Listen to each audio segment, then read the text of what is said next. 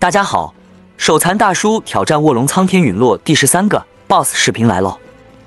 抱歉抱歉，这一关的 BOSS 比较难，所以卡了一天。我以为吕布之后就没有像样的 BOSS 了，毕竟董卓太菜了。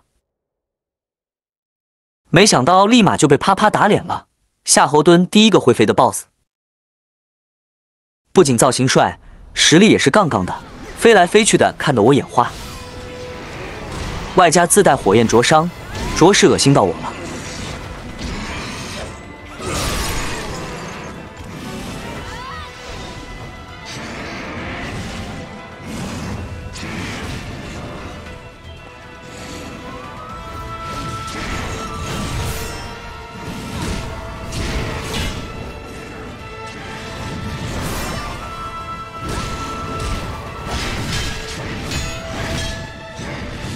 失败了好几局，才能勉强掌握他的出招节奏。主要还是飞来飞去的太烦人了，不然的话应该不难打。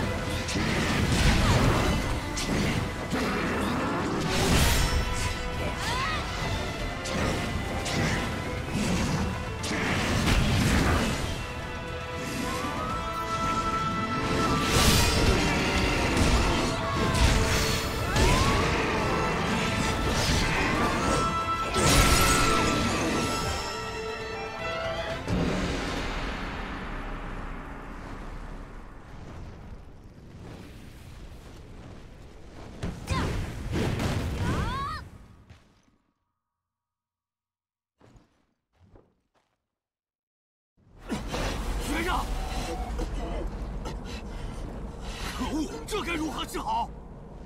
让开妙孟德，你还真会捡漏啊！我打了半天结束了，你就出来装逼？刚烈忠义之士怎能枉死？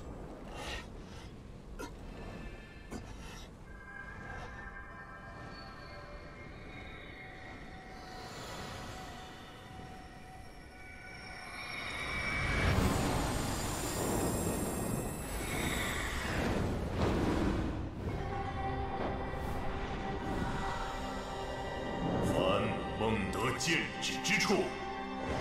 我夏侯一族定当率领乔佩子弟一马当先，为孟德披荆斩棘，在我等毕生使命。老大与我等亲如兄弟，谁敢与之为敌，愿当将其一剑穿心。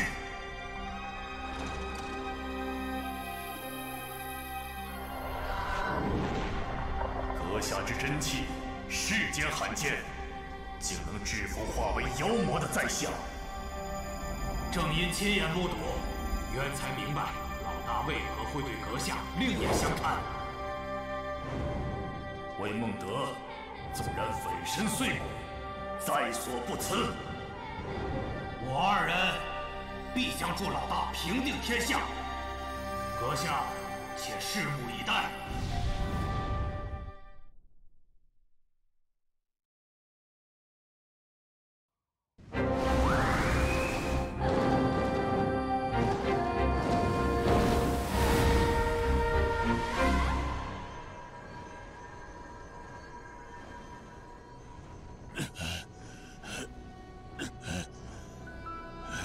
这里没有展现夏侯惇生吞章鱼小丸子经典场景，太无爱了。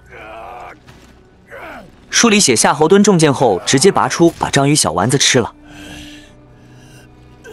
这里却是怕吓到孟德转身，不知道从身上哪里拿出眼罩戴上。大哥，你的章鱼小丸子呢？眼罩以前就备好了，你未卜先知吗？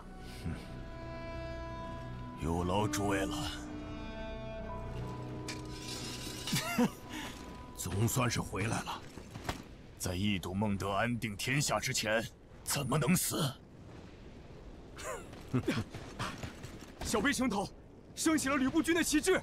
哼，这个吕布，这一幕让我想起了 S 四流星花园。